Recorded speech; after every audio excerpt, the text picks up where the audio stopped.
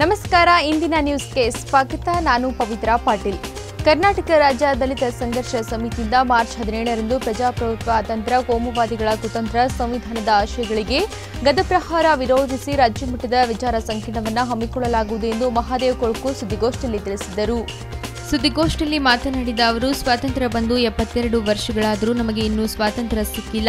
ಇಲ್ಲಿ ಅನೇಕ ಕೋಮುವಾದಿಗಳು ಪ್ರಜಾಪ್ರಭುತ್ವವನ್ನ, ಅತಂತ್ರವನ್ನ ಮಾಡಲು ಹೊರಟಿದ್ದಾರೆ. ಅದಲ್ಲದೆ ಸಂವಿಧಾನದ ಆಶಯಗಳಿಗೆ ಗದಪ್ರಹಾರವನ್ನ ಮಾಡುತ್ತಿರುವುದು, ನಾವು ಸಂವಿಧಾನವನ್ನ ಉಳಿಸುವುದು ನಮ್ಮೆಲ್ಲರ ಕರ್ತವ್ಯವಾಗಿದ್ದು, ಆದ ಕಾರಣ ಮಾರ್ಚ್ ಹದಿನೇಳರಂದು ಬೆಂಗಳೂರಿನ ಬಾಪು ಸಭಾಂಗಣದಲ್ಲಿ ಪ್ರಜಾಪ್ರಭುತ್ವ, ಅತಂತ್ರ, ಕೋಮುವಾದಿಗಳ ಕುತಂತ್ರ ಸಂವಿಧಾನದ ಆಶಯಗಳಿಗೆ ಗದಪ್ರಹಾರ ವಿರೋಧಿಸಿ ರಾಜ್ಯ ಮಟ್ಟದ ವಿಚಾರ ಸಂಕಿರಣವನ್ನ ಹಮ್ಮಿಕೊಳ್ಳಲಾಗುವುದು ಎಂದು ಮಹಾದೇವ್ ಕೊಳಕೂರು ಸುದ್ದಿಗೋಷ್ಠಿಯಲ್ಲಿ ತಿಳಿಸಿದರು ಪ್ರವಾಹ ವಿರೋಧಿಸಿ ಒಂದು ದಿವಸದ ರಾಜ್ಯ ಮಟ್ಟದ ವಿಚಾರ ಸಂಕಿರಣವನ್ನು ಗಾಂಧಿ ಭವನ್, ಬೆಂಗಳೂರು, ಇದೇ ಮಾರ್ಚ್ ಹದಿನೇಳು ತಾರೀಕರದಂದು ನಡೆಯಲಿದ್ದು, ಈ ಕಾರ್ಯಕ್ರಮಕ್ಕೆ ಪ್ರೊಫೆಸರ್ ಜಿ ಕೆ ಗೋವಿಂದ್ರ ಅವರು ವಿಚಾರವಾದಿಗಳು ಉದ್ಘಾಟ, ಉದ್ಘಾಟಿಸಲಿದ್ದಾರೆ.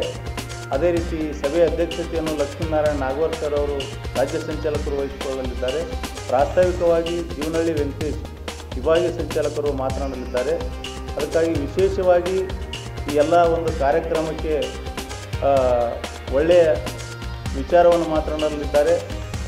ಹಿಂದೂದರ್ ಹೊನ್ನಾಪುರ್ ಸಂವಾದ ವಾರಪತ್ರಿಕೆಯ ಸಂಪಾದಕರು, ಇಡೀ ರಾಜ್ಯದಂಥ ಎಲ್ಲ ಜಿಲ್ಲಾ ಕೇಂದ್ರದ ಪದಾಧಿಕಾರಿಗಳು ಅಲ್ಲಿ ಸುಮಾರು ಕಾರ್ಯಕರ್ತರು ಭಾಗಿಯಾಗ್ತಾ ಭಾಗಿಯಾಗ್ತಾ ಇದ್ದಾರೆ. ಆದರೂ ಕೂಡ ಇಲ್ಲಿ ನಮ್ಮ ಗುಲ್ಬರ್ಗಾ ವಿಶ್ವವಿದ್ಯಾಲಯದಲ್ಲಿ ಅತಿಥಿ ಉಪನ್ಯಾಸಕರ ಆಯ್ಕೆಯಲ್ಲಿ ಮೋಸ ಆಗಿದೆ ಎಂದು ಡಾಕ್ಟರ್ ಪ್ರಭು ನಾರಾಯಣ್ ಕಲಬುರಗಿಯ ಸುದ್ದಿಗೋಷ್ಠಿಯಲ್ಲಿ ತಿಳಿಸಿದರು ಇತ್ತೀಚಿನ ದಿನಗಳಲ್ಲಿ ಗುಲ್ಬರ್ಗಾ ವಿಶ್ವವಿದ್ಯಾಲಯವು ವಿದ್ಯೆಗಿಂತ ಬೇರೆ ಸಂಶಯಗಳಿಗೆ ಎಡೆಮಾಡಿಕೊಡುತ್ತಿದೆ ಕೆಲವು ದಿನಗಳ ಹಿಂದೆ ಪಿಎಚ್ಡಿ ಪದವಿಗಳಿಗಾಗಿ ಜಟಾಪಟಿ ನಡೆದಿತ್ತು. ಆದರೆ ಈಗ ಅತಿಥಿ ಉಪನ್ಯಾಸಕರ ಆಯ್ಕೆಯಲ್ಲಿ ವಿಶ್ವವಿದ್ಯಾಲಯವು ಮೋಸ ಮಾಡುತ್ತಿದೆ ಎಂದು ಡಾಕ್ಟರ್ ಪ್ರಭು ನಾರಾಯಣ ಕಲಬುರಗಿಯ ಸುದ್ದಿಗೋಷ್ಠಿಯಲ್ಲಿ ಹೇಳಿದ ಅವರು, ನನಗೆ ಇಪ್ಪತ್ತೇಳನೇ ಅಕ್ಟೋಬರ್ ಎರಡ್ ಸಾವಿರದ ಹದಿನೇಳರಲ್ಲಿ ಅತಿಥಿ ಉಪನ್ಯಾಸಕರ ಸಂದರ್ಶನಕ್ಕೆ ಬರಬೇಕು ಎಂದು ಮೆಸೇಜ್ ಮೂಲಕ ಹೇಳಲಾಗಿತ್ತು. ಅದರಂತೆ ನವೆಂಬರ್ ಹನ್ನೊಂದರಂದು ಸಂದರ್ಶನಕ್ಕೆ ಹೋಗಿದ್ದು ಒಂದು ಪೋಸ್ಟ್ಗೆ ಐದು ಜನರು ಬಂದಿದ್ದರು. ಈ ಹುದ್ದೆಯನ್ನ ಎಂಎಎಂ ಫೀಲ್ ಹಾಗೂ ನೆಟ್ ಸೆಟ್ ಮಾಡಿದವರಿಗೆ ಮೊದಲ ಆದ್ಯತೆನ ನೀಡಲಾಗಿತ್ತು. ಆದರೆ ನಾನು ಈ ಹುದ್ದೆಗೆ ಎಲಿಜಿಬಲ್ ಇದ್ದರೂ ನನ್ನ ಮೇಲೆ ಕ್ರಿಮಿನಲ್ ಕೇಸ್ ಇದೆ ಎಂದು ಸುಳ್ಳು ಹೇಳಿ ತ್ರೀ ಸೆವೆಂಟಿ ಒನ್ ಜೆ ಇಲ್ಲದವರಿಗೆ ಈ ಹುದ್ದೆಯನ್ನು ನೀಡಿದ್ದು ನಮಗೆ ಅಲ್ಲಿನ ಡಿಪಾರ್ಟ್ಮೆಂಟ್ ಚೇರ್ಮನ್ ಮೋಸ ಮಾಡಿದ್ದಾರೆಂದು ಹೇಳಿದರು.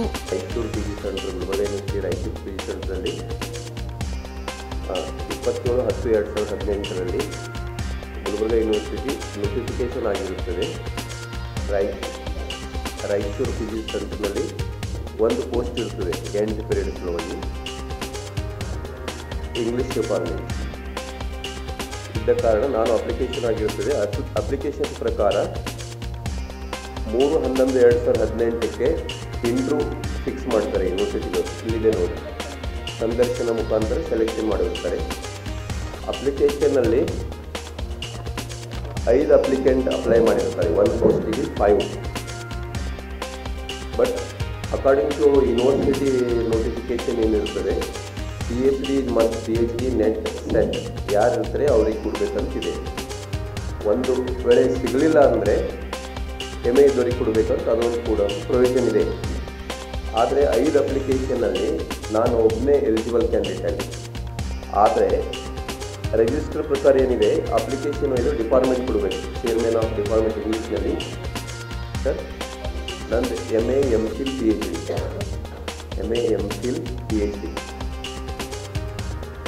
ನಾನು ಕಲಬುರಗಿ ಲೋಕಸಭಾ ಚುನಾವಣೆಗೆ ನಿಲ್ಲುವುದು ಪಕ್ಕ. ನನ್ನ ರಾಜೀನಾಮೆ ಅಂಗೀಕಾರವಾಗಲಿ ಬಿಡ್ಲಿ. ನಾನು ಬಿಜೆಪಿಯಿಂದ ಸ್ಪರ್ಧಿಸುತ್ತೇನೆಂದು ಉಮೇಶ್ ಜಾಧವ್ ಕಲಬುರಗಿಯ ಸುದ್ದಿಗೋಷ್ಠಿಯಲ್ಲಿ ತಿಳಿಸಿದರು ಚುನಾವಣೆ ಕಾವು ಈಗ ಎಲ್ಲೆಡೆ ಹರಡಿದೆ. ಅದರಂತೆ ಕಲಬುರಗಿ ಲೋಕಸಭಾ ಚುನಾವಣೆ ಸ್ಪರ್ಧೆಯಂತೂ ತಾರಕಕ್ಕೇರಿದ್ದು ಗುರುಶಿಷ್ಯರ ಕಾದಾಟ ನೂರರಷ್ಟು ಎಂದು ಹೇಳಲಾಗ್ತಿದೆ. ಈಗಾಗಲೇ ಬಿಜೆಪಿಗೆ ಸೇರ್ಪಡೆಗೊಂಡ ಉಮೇಶ್ ಜಾಧವ್ ಅವರ ರಾಜೀನಾಮೆಯನ್ನು ಸ್ಪೀಕರ್ ಇನ್ನೂ ಅಂಗೀಕಾರ ಮಾಡದಿರುವುದರ ಬಗ್ಗೆ ಮಾತನಾಡಿದ ಜಾಧವ್ ಅವರು, ನನ್ನ ರಾಜೀನಾಮೆ ಅಂಗೀಕಾರ ಮಾಡಲಿ ಬಿಡಲಿ, ನಾನಂತೂ ಈಗಾಗಲೇ ಬಿಜೆಪಿಯಿಂದ ಲೋಕಸಭಾ ಚುನಾವಣೆಯನ್ನು ಸ್ಪರ್ಧಿಸಲಿದ್ದೇನೆಂದು ಹೇಳಿದ್ದಾರೆ. ಅಲ್ಲಿ ವಾತಾವರಣ ಕೆಟ್ಟಿತ್ತು. ಸರ್ಕಾರದಾಗ, ಒಂಬತ್ತು ಕೆಲಸಗಳಾಗಿಲ್ಲ. ನಾನು ಬೇಕಾದರೆ ಡಿಬೇಟ್ ಮಾಡಿ ರೆಡಿ ಇದ್ದೀನಿ.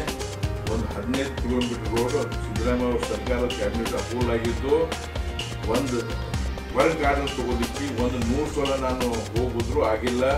ನಾನು ನಾನು ಅವರಿಗೆ ಪ್ರಿನ್ಸಿಪಲ್ ಸೆಕ್ರೆಟರಿಗೆ ಮೆಸೇಜ್ ಮಾಡಿದ್ರೆ ವಿಧಾನ ಅಸೆಂಬ್ಲಿ ಇಶ್ಯೂ ಅಸೆಂಬ್ಲಿದಾಗ ಕ್ವಶನ್ ಮಾಡ್ತೀನಿ. ಇದು ಸ್ವಲ್ಪ ಕ್ಲಿಯರ್ ಮಾಡೋದು ಈಗ ನಾಲ್ಕು ಕ್ವಶನ್ ಏನು ಅಸೆಂಬ್ಲಿ ಅಂತ ಹೇಳ್ತಾರೆ. ಅಂತ ಉದ್ದಡತನದ ಉತ್ತರಗಳು ಆಯಾಸ ಕೊಡ್ತಾ ಇದ್ದಾರೆ. ಇವ್ರು ಹೆದರಿಕೆ ಇಲ್ಲ ವಾತಾವರಣ ನಮ್ಗೆ ಓಟ್ ಜನರಿಗೆ ಯಾಕೆ ಓಟ್ ಹಾಕ್ತಾರ? ಗೆದ್ದ ಮೇಲೆ ಕೆಲಸ ಮಾಡಿದ್ರೆ ಓಟ್ ಹಾಕ್ತಾರ. ನಮ್ಮ ಬೇಸಿಕ್ ಕೆಲಸ ಆಗಲಿಲ್ಲ ನಾವು ಇದ್ದೇವ್ರ ಉಪಯೋಗ ಅದ. ಸುಮ್ಮನೆ ಟೈಮ್ ಪಾಸ್ ಮಾಡ್ಲಿಕ್ಕೆ ನಾವು ಇಲ್ಲಿ ನಮ್ಗೆ ಓಟ್ ಹಾಕಿ ನಮ್ಗೆ ಜನ ಗೆದ್ದು ಕಳಿಸ್ಬೇಕು.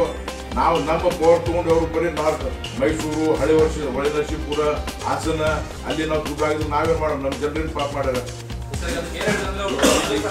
ಈಗ Hyderabad, Karnataka H K R T B board ಇನ್ನ ತನ್ನ ಕಾನ್ಸ್ಟಿಟ್ಯೂಷನ್ ಆಗಿಲ್ಲ.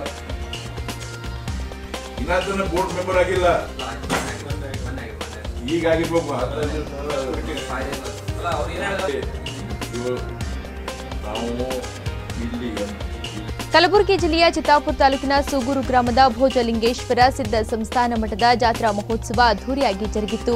ಭೋಜಲಿಂಗೇಶ್ವರರ ಇಪ್ಪತ್ನಾಲ್ಕನೇ ಜಾತ್ರಾ ಮಹೋತ್ಸವಕ್ಕೆ ಭೋಜಲಿಂಗೇಶ್ವರ ಸಿದ್ಧ ಸಂಸ್ಥಾನ ಮಠದ ಪರಮ ಪೂಜ್ಯರಾದ ಹಿರ್ಗಪ್ಪ ತಾತನವರು ಚಾಲನೆ ನೀಡಿದರು. ಬಳಿಕ ಭೋಜಲಿಂಗೇಶ್ವರ ತಾತನವರ ಭಾವಚಿತ್ರಕ್ಕೆ ಪುಷ್ಪಾರ್ಪಣೆ ಮಾಡಿ, ಬಳಿಕ ಜ್ಯೋತಿ ಬೆಳಗಿಸುವುದರ ಮೂಲಕ ಕಾರ್ಯಕ್ರಮಕ್ಕೆ ಚಾಲನೆ ನೀಡಲಾಯಿತು. ಈ ವೇಳೆ ಭೋಜಲಿಂಗೇಶ್ವರ ಸಿದ್ಧ ಸಂಸ್ಥಾನ ಮಠದ ಪರಮ ಪೂಜ್ಯರಾದ ಹಿರಗಪ್ಪ ತಾತನವರು ಹಾಗೂ ರುದ್ನೂರು ತೋಟದಾರ್ಯ ಸಿದ್ದೇಶ್ವರ ಮಠದ ಸದಾಶಿವ ಸ್ವಾಮಿಗಳು, ಬೃಹನ್ಮರ ಹೋಟಗಿಯ ಪರಮ ಪೂಜ್ಯ ಧರ್ಮರತ್ನಂ ಡಾಕ್ಟರ್ ಮಲ್ಲಿಕಾರ್ಜುನ ಶಿವಾಚಾರ್ಯರು ಮಾತನಾಡಿದರು. ಈ ವೇಳೆ ಅನೇಕರಿಗೆ ಸನ್ಮಾನಿಸಲಾಯಿತು.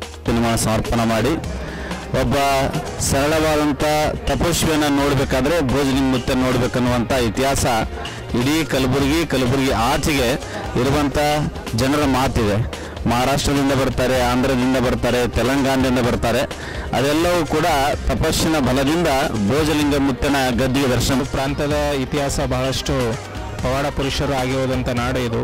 ಈ ಒಂದು ಮಠದಲ್ಲಿ ಕೂಡ ಅನೇಕ ಪವಾಡ ಪುರುಷರು ಇದರಿದ್ದಾರೆ ಆದರೆ ಇವಾಗಿನ ಈ ಒಂದು ಮಠದಲ್ಲಿ ಎಲ್ಲ ಒಂದು, ಎಲ್ಲ ಆ ಜಾತಿ ಜಾತಿ ಎಲ್ಲ ಒಂದು ಸರ್ವಧರ್ಮೀಯ ಈ ಒಂದು ಜಾತ್ರಾ ಮಹೋತ್ಸವದಲ್ಲಿ ಎಲ್ಲ ಧರ್ಮದವರು ಕೂಡಿ ಆ ಒಂದು ಸಂತರ ಒಂದು ಜಾತ್ರಾ ಮಹೋತ್ಸವ ಅಂಗವಾಗಿ ಆಗಮಿಸಿರ್ತಕ್ಕಂಥ ಸಕಲ ಸದ್ಭಕ್ತಾದಿಗಳಿಗೆಲ್ಲರಿಗೂ ಸದ್ಗುರು ಶ್ರೀ ಭೋಜಲಿಂಗೇಶ್ವರನ ಕೃಪಾ ಆಶೀರ್ವಾದ ಸದಾ ಇರಲಿ ಎಂದು ಹಾರೈಸುತ್ತಾ ಇಲ್ಲಿಗೆ ಖಂಡಿತ. ಓಕೆ.